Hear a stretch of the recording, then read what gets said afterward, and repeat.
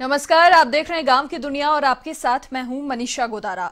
इस बुलेटिन में हम आपको दिखाएँगे गाँव और कस्बों की हर वो छोटी बड़ी खबर जिसका सरोकार है आपसे। तो आइए शुरू करते हैं गाँव की दुनिया का आज का सफ़र।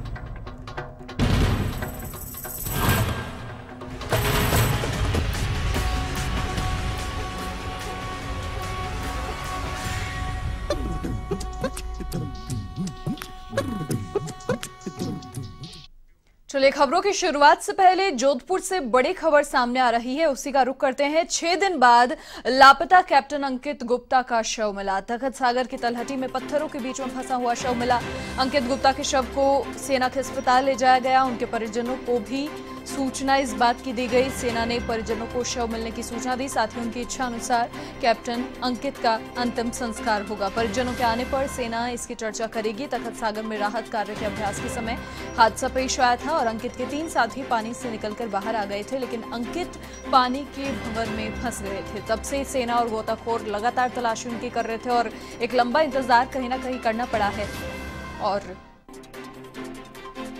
अब अंकित के परिजनों को भी सूचना दे दी गई है। उनकी इच्छा अनुसार ही कैप्टन अंकित का अंतिम संस्कार होगा। परिजनों के आने पर सेना चर्चा इसकी करेगी और जैसे ही अंकित का शव मिला, उसके बाद सेना के अस्पताल उनके शव को ले जाया गया। आपको बता दें कि तखत सागर की तलहटी में पत्थरों के बीच में, पानी के भंवर में अंकित गुप्ता फंस गए थे जब अभ्यास सेना का चल रहा था, तब से लगातार सेना और गोताखोर अंकित की तलाश कर रहे थे। तब से सेना लगातार सक्रिय होकर कैप्टन अंकित की तलाश में जुटी थी। जोधपुर से ये बड़ी खबर आपको बता रहे हैं। अभ्यास के दौरान यह हादसा पेश आया। छह दिन बाद लापता कैप्टन अंकित गुप्ता का शव मिला तखत सागर की तलहटी में पत्थरों के बीच में फंसा हुआ शव मिला अंकित का। अंकित गुप्ता के शव को सेना के अस्पताल ले जाया गया। साथ ही परिजनों को भी सूचना दे दी गई है। उनके इच्छानुसार उनका अंतिम संस्कार किया जाएगा।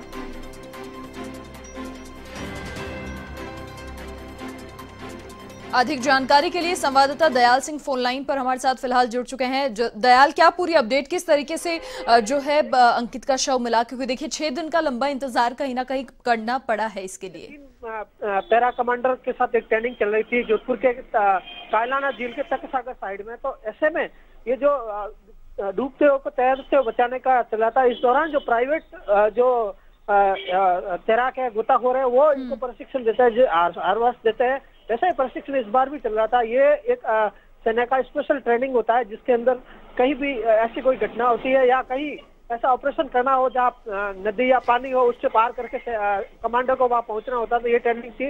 इस दौरान जो तीन पैरा कमांडो के साथ कैप्टन झील के अंदर हेलीकॉप्टर से छलांग लगाते हैं और उस दौरान वहाँ बच्चा के निकलना कैसे निकलना ये ट्रेनिंग थी। उस दौरान कैप्टन जो अंदर है अंदर ही रह गए थे और तीन पैरा कमांडर थे वो बाहर आ गए थे। ऐसे में उसी दौरान ही सर्च ऑपरेशन चलाया गया था। छह दिन तक लगातार चला उसके बाद आज उनका शव जो है तक सागर की साइड में पहाड़ियों के बीच फंसा हुआ मिला था।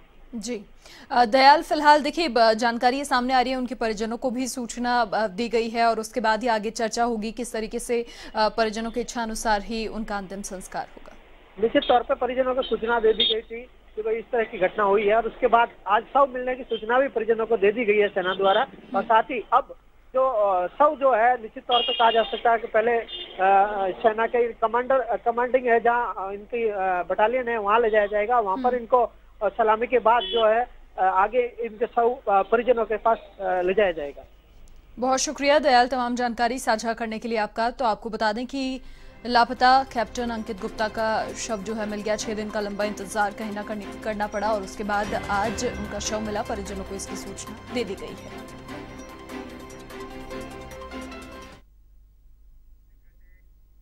खबर अलवर के मुडावर से है, जहाँ पर किसान बिल के विरोध में राजस्थान बॉर्डर पर बत्तीसवें दिन भी धरना स्थल पर किसान डटे रहे।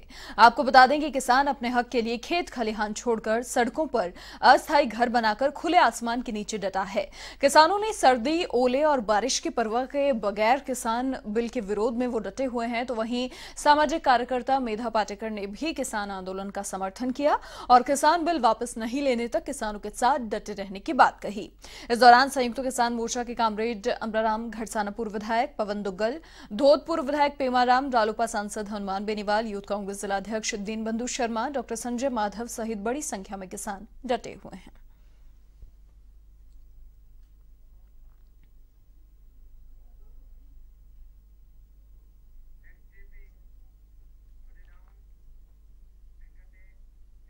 अलवर में एसीबी की ओर से लगातार बड़ी कार्रवाइयाँ की जा रही हैं।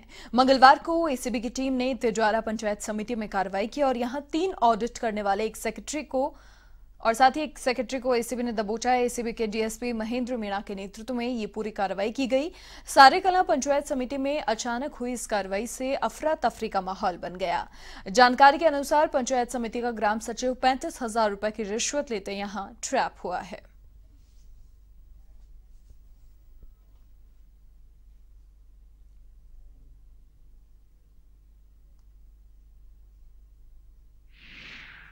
ऑडिट टीम आई हुई है। उस ऑडिट टीम की सेवा पानी या ऑडिट में किसी तरह की कोई रिकवरी ना करने ऑडिट को सही करने की एवज में उनकी सेवा पानी के लिए चालीस पैंतीस हज़ार रुपये की व्यवस्था आपको करनी पड़ेगी। जिसका सत्यापन करवाया गया तो सत्यापन में आ, अशोक सेक्रेटरी है जो कि ग्राम पंचायत सारे कला का सेक्रेटरी है तो सेक्रेटरी का जो ऑडिट टीम है, उसके लिए पैंतीस हज़ार रुपये की मांग करना सत्यापन में पाया गया। खबर बाड़मेर के सिवाना क्षेत्र से है, जहाँ पादरू में जोधपुर एसीबी टीम ने बड़ी कार्रवाई को अंजाम दिया। टीम ने बीस हज़ार की रिश्वत लेते दलाल नारायण सिंह को ट्रैप किया, जो बिजली विभाग की जेईएन के लिए रिश्वत ले रहा था। ऐसे में अब एसीबी टीम जेईएन की तलाश कर रही है।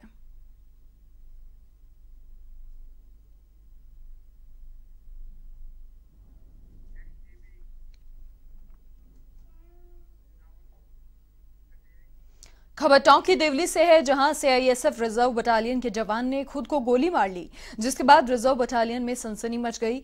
जानकारी के मुताबिक रिज़र्व बटालियन के गेट नंबर दो पर जवान ड्यूटी करते थे और फ़िलहाल पुलिस ने जवान के शव को अस्पताल की मोर्चरी में रखवाया है और साथ ही मामले की जाँच शुरू कर दी है। पुलिस के अनुसार मृतक जवान बीरंजीत तमिलनाडु निवासी है, जो गेट नंबर दो पर ड्यूटी कर रहा था और करीब चार वर्ष पहले जवान ने सीआईएसएफ ज्वाइन किया था।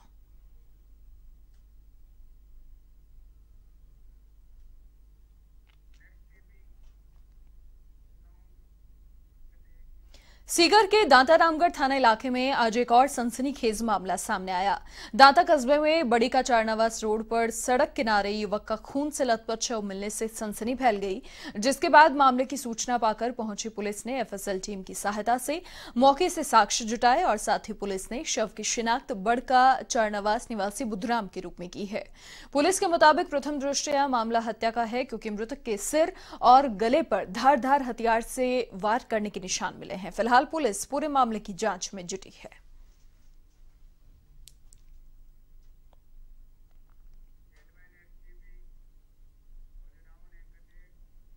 खबर भरतपुर के रुदावल से है, जहाँ एक स्पेलर के पट्टे में चादर फंसने से एक पचहत्तर वर्षीय वृद्ध का सिर पट्टे में आ गया, जिससे सिर धड़ से अलग हो गया और वृद्ध की मौके पर ही मौत हो गई। घटना की सूचना पर मौके पर पहुँची पुलिस और ग्रामीण मृतक के शव को लेकर रुदावल चिकित्सालय पहुँचे और शव का पोस्टमार्टम कराने के बाद शव परिजनों को सुपुर्द किया।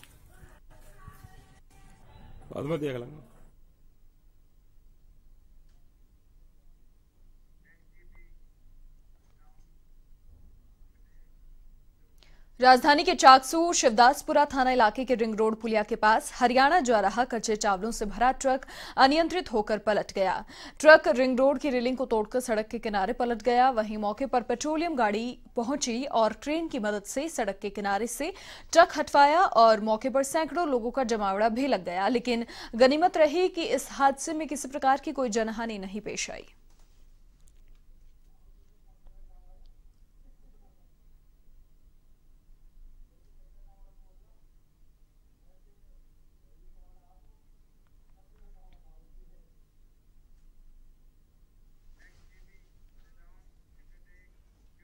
खबर राजसमंद के राजनगर थाना क्षेत्र से है, जहाँ बरडाडा के पास मुर्गियों से भरी एक पिकअप अनियंत्रित होकर पलट गई।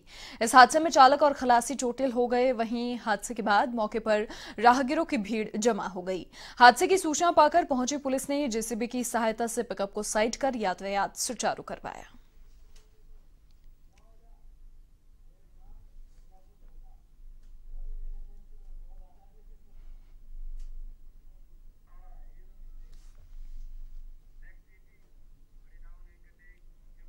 खबर भरतपुर के कामा से है, जहाँ सबलाना गाँव में एक निर्माणाधीन मकान भरभराकर गिर गया, जिससे मौके पर चीख पुकार मच गई। वहीं घर में सो रहे करीब आधा दर्जन लोग गंभीर रूप से यहाँ घायल हो गए, जबकि कुछ मवेशियों की भी मौत हुई। हादसे के बाद ग्रामीणों ने सभी घायलों को कामा अस्पताल में भर्ती करवाया, जहाँ से उन्हें गंभीर हालत में अलवर रेफर किया गया है, जहाँ एक महिला की हालत नाजुक बताई जा रही है और साथ ही इस हादसे में लाखों रुपए के नुकसान का भी आंकलन किया गया है। फ़िलहाल पुलिस पूरे मामले की तफ्तीश कर रही है।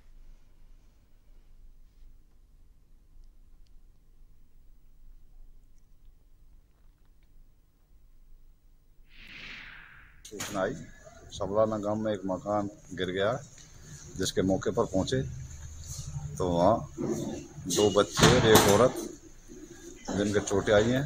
दो बकरी मर, तीन बकरी मर गई, एक भैंस, जो जीवित अवस्था में है, लेकिन और पूरा मकान धाराशाही हो गया, जिनको काम हॉस्पिटल लाए, यहाँ से रेफर खबर श्रीगंगानगर के पदमपुर से है, जहाँ विद्युत विभाग में कार्यरत कर्मचारी की मौत के मामले ने टूल पकड़ लिया है।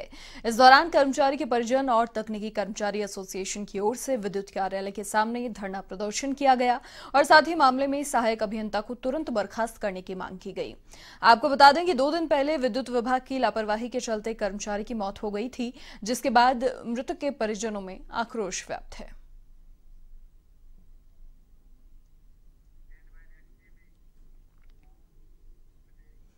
अजमेर के केकड़ी में दिन दहाड़े सोने मकान में चोरी की वारदात हुई है और यहाँ अजमेर रोड स्थित विनायक नगर में अज्ञात चोरों ने सोने मकान से चार लाख रुपए की नकदी सहित पंद्रह तोले के सोने चांदी के आभूषण चुराए हैं। सूचना मिलने पर केकड़ी पुलिस मौके पर पहुँची, मौका मुआयना किया। बताया जा रहा है कि मकान मालिक किसी काम से परिवार के साथ भीलवाड़ा गए हुए थे और मकान में रहने वाले किराएदार को ध्यान रखने की कह कर गए थे। इस दौरान किराएदार पढ़ाई करने के लिए लाइब्रेरी चला गया और पीछे से चोरों ने मौका देखकर चोरी की वारदात को अंजाम दिया। बताया ये भी जा रहा है कि कुछ दिनों के बाद मकान मालिक के भतीजे की शादी थी, जिसके लिए नकदी और जेवरात घर पर रखे थे।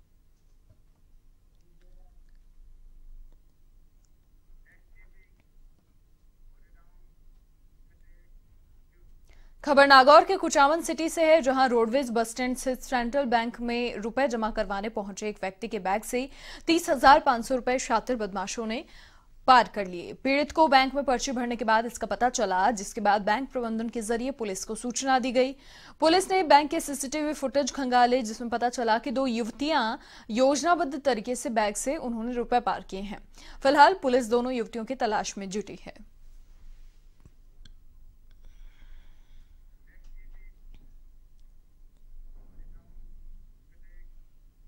अवैध बजरी परिवहन को लेकर लगातार मिल रही शिकायतों के बाद बौली एसएचओ नरेश मीना के निर्देशन में बड़ी कार्रवाई को अंजाम दिया है।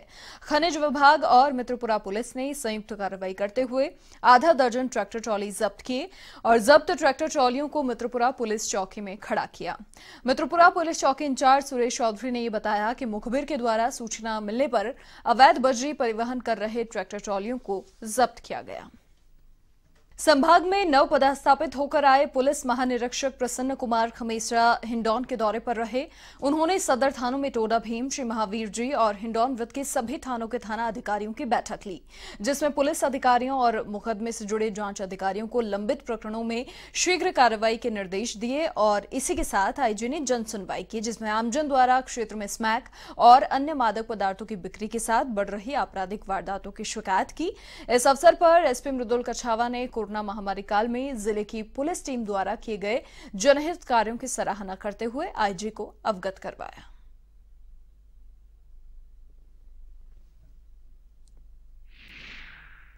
की क्राइम मीटिंग एसपी साहब ने रखी थी, जिसमें मैं भी सम्मिलित हुआ।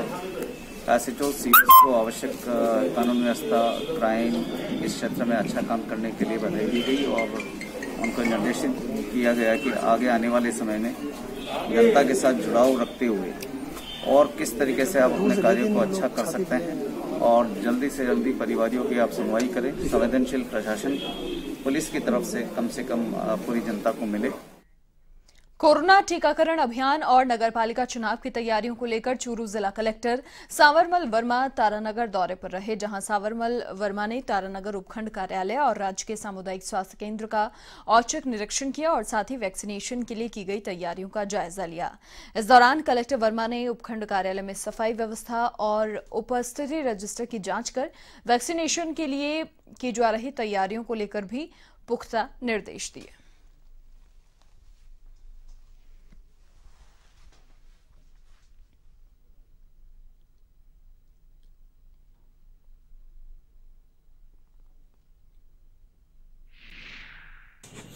हेल्थ केयर वर्कर्स का जो वैक्सीनेशन हो रहा है, उसकी प्रारंभिक तैयारियों के लिए मैंने इसका सी एस सी तारानगर का निरीक्षण किया और जो राज्य सरकार के दिशा निर्देश है, मुख्य सचिव महोदय, शासन सचिव महोदय, चिकित्सा एवं स्वास्थ्य विभाग, उनसे निर्देश जो प्राप्त हुए हैं, उनके बारे में जानकारी दी गई है। मैं समझता हूँ, यहाँ इन्होंने जो व्यवस्था की है, ठीक है, और अगर सुधार की गुंजाइश भी होगी पाली ज़िले के तखतगढ़ शहर में नगरपालिका के संवेदकों की बैठक का आयोजन किया गया, जिसमें समस्याओं पर चर्चा कर ठेकेदार संघ का गठन कर कार्यकारिणी का गठन किया गया। संवेदकों की बैठक में सर्वसम्मति से यूनियन का गठन किया, जिसका पंजीकृत नाम तखतगढ़ नगरपालिका ठेकेदार संघ रखने का निर्णय लिया और इस दौरान चर्चा के बाद कार्यकारिणी का गठन किया, जिसमें जुगल सिंह बेका को संरक्षक पीराराम कुमावत को अध्यक्ष, फिरोज खान को उपाध्यक्ष, साथ ही भैरूलाल खारवाल को सचिव, गोविंद सिंह राणावत को कोषाध्यक्ष और राजेश कुमावत को महामंत्री मनोनीत किया गया।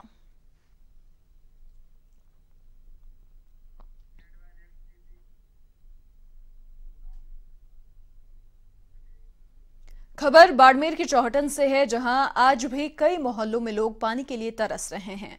आपको बता दें कि कस्बे में करीब चार करोड़ रुपए खर्च करने के बाद पानी की पाइपलाइन बिछा दी गई है, लेकिन आज भी कई मोहल्लों में पानी की सप्लाई नहीं हो रही। वहीं पानी की नियंत्रण सप्लाई नहीं होने के कारण बड़े महँगे दामों में पानी के टैंकर डलवाकर पानी मंगवाने को मजबूर होना पड़ रहा है।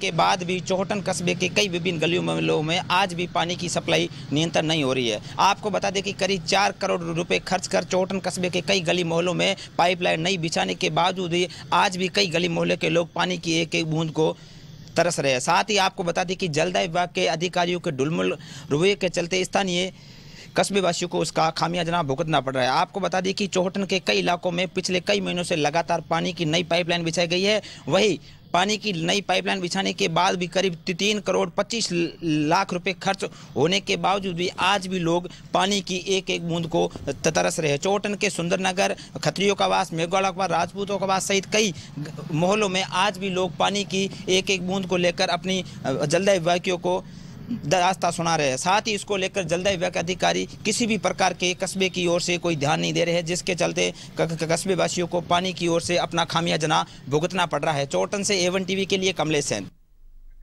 प्रदेश भर में नए कृषि कानूनों के विरोध में प्रदर्शन लगातार जारी है। इसी के तहत राजस्थान किसान संघर्ष यात्रा की ओर से वाहन रैली निकाली जा रही है।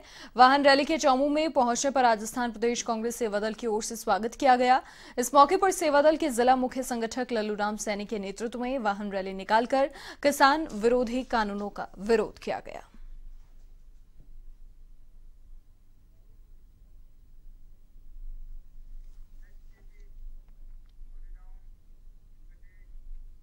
अब खबर राजधानी के बगरू से है, जहाँ विधायक गंगा देवी ने नेवटा, जयसिंहपुरा, मोहाना ग्राम पंचायतों का दौरा किया।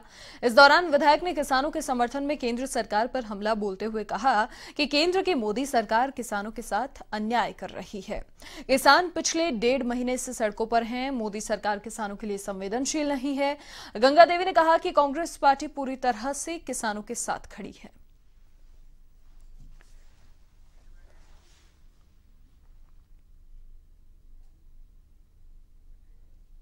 दौसा के बांदीकुई में स्काउट गाइड्स की ओर से कोरोना जन जागरूकता रैली निकाली गई। स्काउट की ओर से निकाली गई इस रैली को पंचायत समिति परिसर से बांदीकुई उपखंड अधिकारी पिंकी मीणा और पुलिस उपाधीक्षक संजय सिंह चंपावत ने हरी झंडी दिखाकर रवाना किया। इस दौरान लोगों को नो मास्क, नो एंट्री का संदेश भी दिया गया।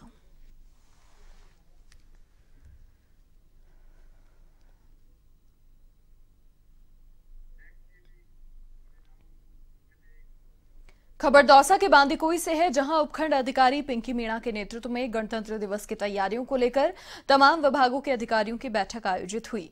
बैठक में उपखंड अधिकारी ने सभी विभागों के अधिकारियों से गणतंत्र दिवस की तैयारियों को लेकर चर्चा की। वहीं इस दौरान सभी विभागों को कार्य का बंटवारा कर ज़िम्मेदारी भी सौंपी गई। इस बैठक में पुलिस उपाधीक्षक संजय सिंह चंपावत समेत कई लोग मौजूद रहे।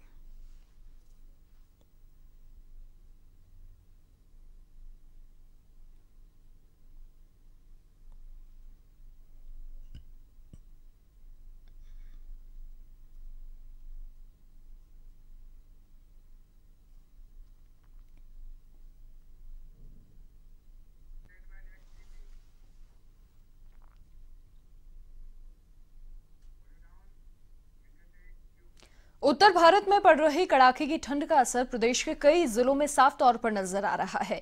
राज्य के कई जिलों में तेज सर्दी ने लोगों का जीना मुहाल कर दिया है और इसी कड़ी में सिरोही के माउंट आबू में एक बार फिर तापमान में गिरावट दर्ज हुई। जिसके बाद माउंट आबू का तापमान माइनस दो डिग्री सेल्सियस दर्ज किया गया है और तेज सर्दी की वजह से मैदानी इलाकों में बर्फ़ की मोटी परतें जम गई हैं। इधर सीकर के फतेहपुर में भी एक बार फिर तापमान ने गोता लगाया है और फतेहपुर में माइनस शून्य दशमलव आठ डिग्री सेल्सियस तापमान तापमान दर्ज किया गया है। ऐसे में तेज सर्दी से बचने के लिए लोग अलाव का सहारा लेते हुए नज़र आए।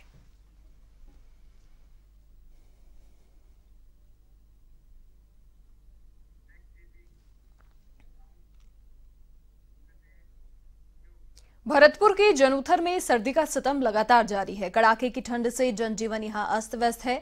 अल सुबह वाहनों पर बर्फ़ की परत जम गई और इधर तेज सर्दी ने लोगों का जीना मुहाल कर दिया। जिसके चलते सर्दी से बचने के लिए लोग अलाव का सहारा लेते हुए नज़र आए।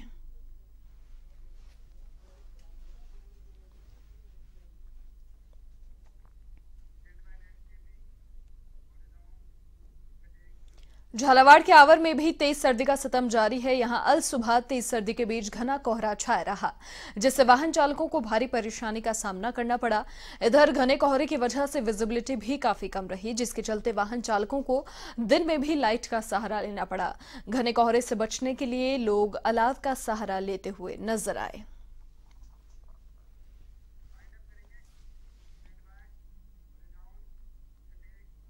और इसी के साथ इस बुलेटिन में फ़िलहाल के लिए इतना ही। देश और दुनिया की तमाम बड़ी खबरों के लिए आप देखते रहिए ए वन टीवी नमस्कार।